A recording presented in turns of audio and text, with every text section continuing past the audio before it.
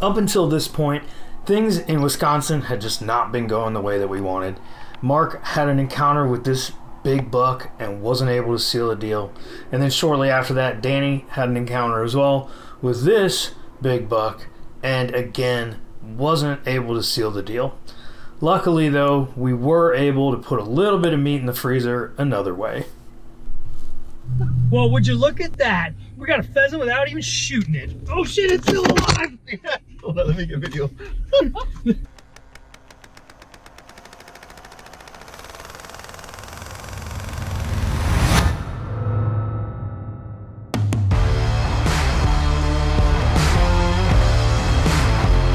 Dude, that is a big deer. And he didn't even go 30 yards. Oh my god. that was the first buck I've ever shot. Woo! What a rush. Money. That deer is dead. Tagged out, baby. You shot one? Yeah, Hell yeah, nigga. I saw him go down.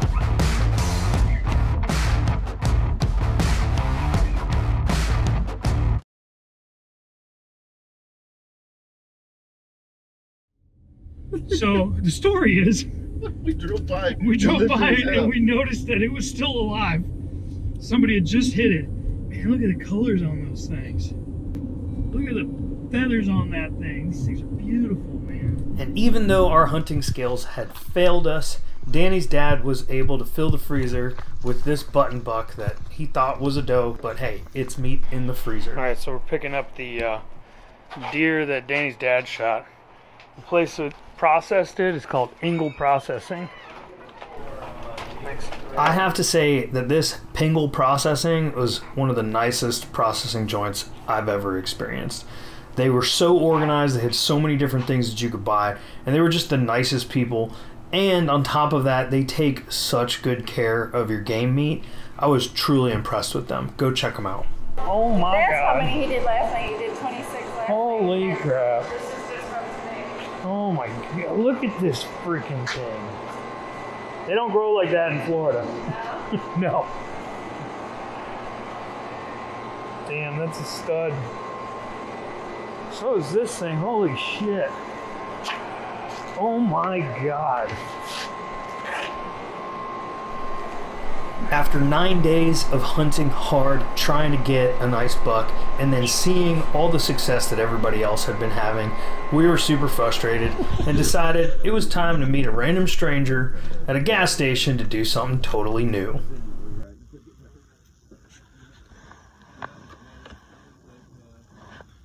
We got a whole truck bed full of decoys. How far are we going? These cute little guys. Oh, probably 300 yards. 250, 300 yards. Hey, you want to give a little shout out for your uh, your guide service? Uh, Nico Ackman Guide Service, I guess. All right, we're gonna find out today if it's any good. No pressure.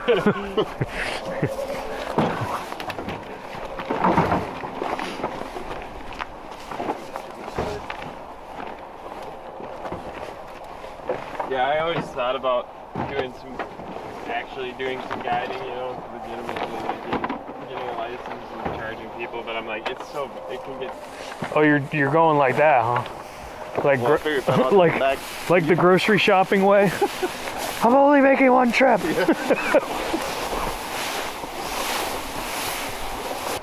we're hunting over some freshly cut corn. Like that. Apparently these geeses like this stuff. Is that like like that's just from that's just from them chewing on it, I'm guessing? Yeah, that's like leftovers. You know, it might have been a little bit harvested, and the geese have been feeding on it. But where you see the the reason why they're still coming here is like this. Yeah, right. So like You can see they've been. You- yeah, they've been chewing on it and stuff. bit, yeah. that's cool. I guess that's a good sign. Yeah. But you don't you don't think we'll see geese until later on? Yeah, I don't think we'll see geese until probably like eight o'clock at least. Okay. Yeah, usually usually an hour after we go shooting, is uh, there's some good shit right there. Should check and see where we're at. Yeah, that looks promising. Oh, we're getting real close. 50, 75 now? So pretty much, We'll set up and use the corn stubble to brush in, and we'll be since it's a south Yeah. wind, this sets up perfect for um, cover, and then we'll probably put most of the decoys in this out, stuff. out in that shit. Cool. So as far as ducks go, we're pretty much only gonna maybe see some mallards. Yeah, you know, we might see some black ducks, we might see some pintails. We've even, Okay. I've got a Pintails high on my list too. We get them in Florida, but they're like the holy grail bird in Florida. I've got a couple buddies that have actually shot redheads out here. In, Really? Not, not in this field specifically, but right in the area. Uh huh. It's really weird to see redheads in a field, but usually they just stay on water. That's and cool. Maybe the occasional wood duck or Cool. So it's possible to get a bit of a mixed bag. yeah, it just all depends on what's kind of moving around. You know, it's Yeah. not. They're not really common to shoot that other stuff, but we've shot them. So, Yeah. and especially this time of year, you never know what's going to drop in. So where's like the closest water that they might be roosting at? So there's probably like half a mile. There's a big pond over there, um, and then there's a big wildlife area up this way, and then a um, like a big reservoir too. And So they're- they're you coming on from- the reservoir with the, the ice and everything that we've been getting. Cool. So you know that's probably Perfect. that- that's probably like five miles away where that reservoir is, but. Oh, nice. We got some corn to snack on when we're bored. Mmm, frozen. So yeah, when we so what I like to do is I like to like from my uh, actual setup, you know, we'll probably set up a little bit farther this way. I like to grab the corn from like just a little ways away, so I'm not so I'm not um, Clearing out the area yeah, by. clearing out the area and making it look unnatural for the geese. Because like I said, the biggest thing with geese is like you just gotta you just gotta hide from them and look as natural as possible, right? When you when you flip open the doors. Um, You gotta flip it hard. yeah, but uh, Flip Basically, it Go to hard. open it. Boom! My toes! you, you take corn stubble and you want to make you, you basically want to make the blind disappear. So you just Yeah. you, I like to start on the bottom As much as possible. and. I put I put corn in every single loop where I mean you want to make it where you can't see basically any fabric at all because that's that's where the birds are gonna pick you out. Is if they can, even though it's camo fabric. Yeah, it's not ma- it's not camo to the Yeah, pattern that we have exactly. here. Yeah. All right. so, yeah, if you guys want to work on that, Cool. Oh, here you go, Mark. Oh, sweet. Snacks. Yep. Cool. Yeah, so I'll grab my grab my other one off. Yeah, Oh, see how this can you big grab um in by the floorboards on the passenger side? There's a uh, there's a can of sweet tea. Oh, Could you grab that? Oh, One of the most southern things I've ever He heard. asked at a bar, they're like, we don't have any tea. It wasn't a bar. Oh yeah, it was a bar. We're too far. You're too far north. Yeah. Yeah, some some guys will throw them out in the spread. I like. Here's the finished product. You can't even tell there's a blind there. Look at that. Y'all ready to kill some geese? do it. All right, guys. So we're out here in Wisconsin. We uh, met up with this wonderful gentleman over here, Nico, who uh, offered to take us out for a little uh, field goose and uh, mallard hunt. And uh, shooting light just began. We just had a flock of like several hundred mallards come over top of us, and uh, we got all the decoys out here. So hopefully we get some action. We shall see. Know what it is? Ah. Ugh. The fella again? Yeah. Pile some corn behind you. Make a pillow. You want my jacket? I'm not using it. You got space in there? Because this one's just caving in on me. Can you fucking throw this somewhere? I don't have a lot of space. No. Put it put it behind you. Use it as a pillow. If you want to try to like.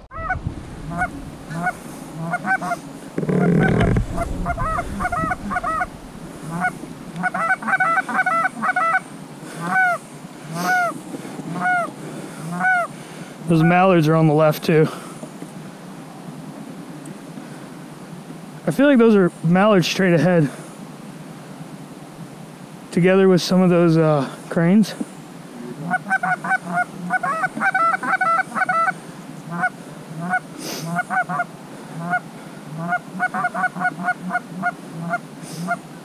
Got him.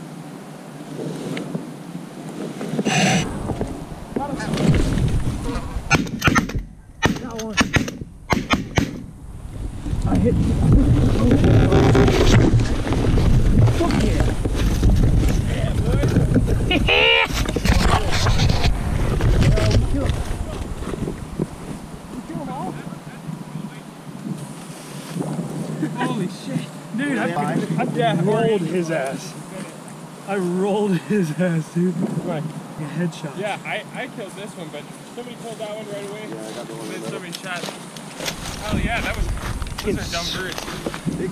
Dude, I ran at them. I ran at them, dude. That was sick, dude. Hell yeah, dude. That was awesome. There we go. Those are freaking floppy sky donkeys. I just like scared them dumbasses up. That worked. Honestly. Is it, yo, is this geese coming in right here? It is. Those wing beats are too fast to be cranes, right?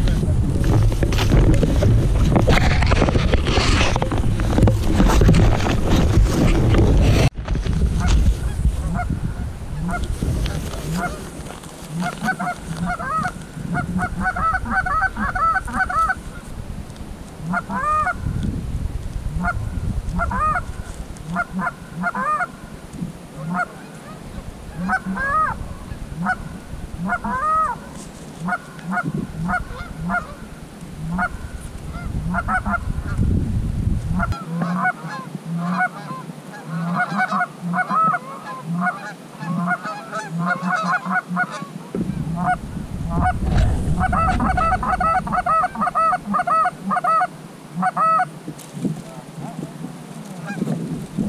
We can do better.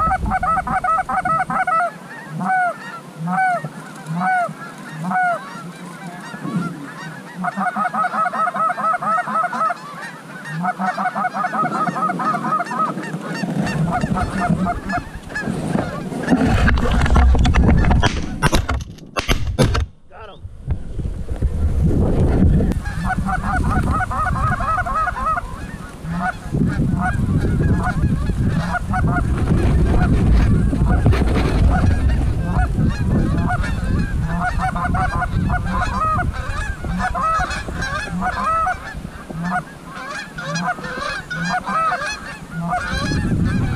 ha ha!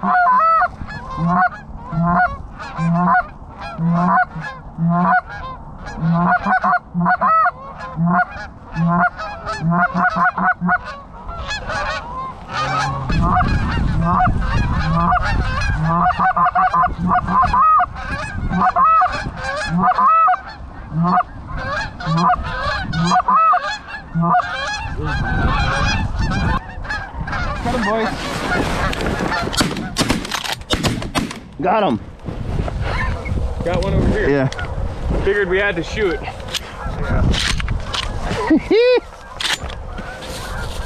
That was all you. I straight missed that one.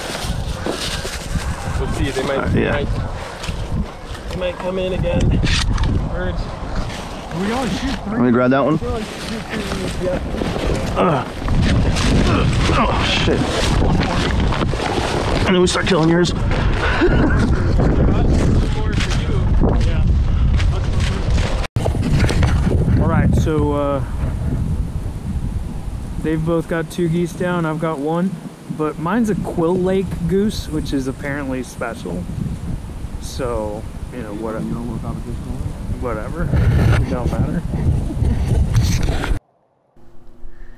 And then, right as the geese started slowing down a little bit, this big old buck came out, started chasing a doe in the field that we were hunting in, just to rub it in our faces that we were terrible deer hunters.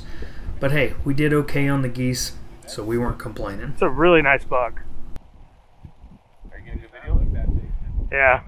Blending it with the Stompers. I'm currently on the road heading to the taxidermist to pick up my goose. It's a special goose, and uh, I shot this uh, almost two years ago when we were in Wisconsin. I didn't realize it at the time, but after the hunt, uh, realized that this goose is incredibly rare, um, and it's about a one in 10 trillion uh, genetic morph uh, that I had shot. So I took it to the taxidermist. I'm super excited to see what it looks like. I'm gonna take you guys with me.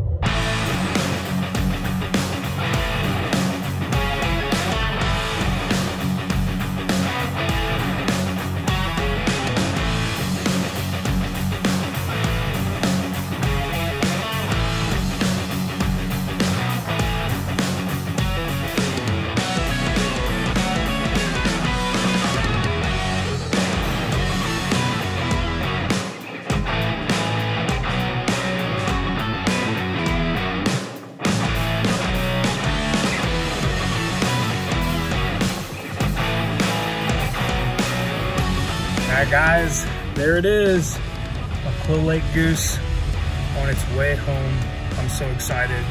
Uh, the taxidermist that did this is uh, Marsh Hen Studios. I'm gonna put her information down, down right here. Uh, she does an incredible job.